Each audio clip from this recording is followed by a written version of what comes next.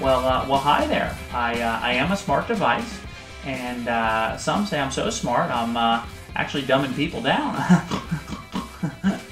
Uh, anywho, um, there are many things that uh, you can do on a device, such as myself.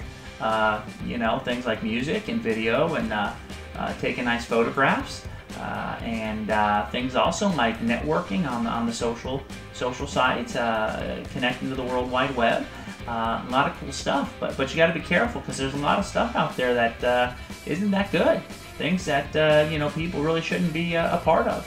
Things that are really always focused just on yourself. you know, just stuff that's not really good. well, speaking of goodness, what kind of device are you going to be? You're going to be a, a, smart device that fills up all your gigabytes with uh, with trash, or uh, maybe you're going to be a smartphone that uh, uses uh, your connectivities to uh, to encourage others, and show them love. Uh, you know, don't don't fill yourself up with the trash. when I think about that, it makes my makes my apps shake and quiver. makes me wish I was a, a, flip phone, or even worse, an iPhone. iPhones rule, Androids rule. but I think you get the picture. Not not a picture you take on the phone, but, uh, but the picture of what I'm saying about goodness. Live your life of goodness. Encourage. Show them love. Well, all right. I uh, think there's a phone call coming in. Talk to you later.